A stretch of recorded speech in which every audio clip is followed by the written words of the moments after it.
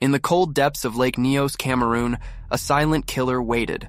On August 21, 1986, an invisible cloud of carbon dioxide erupted from the volcanic lake, transforming a peaceful landscape into a graveyard in seconds.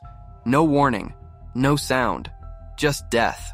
2,300 people and thousands of animals dropped instantly, not from explosion, but from suffocation. Survivors awoke to a nightmare. Entire families frozen mid movement, animals collapsed where they stood. Goats lay beside dinner tables. Chickens stopped mid peck. Children slumped over chairs. The CO2 had crept silently through villages, heavier than air, replacing oxygen with a deadly blanket.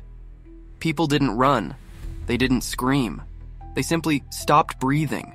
One moment alive, the next, completely still.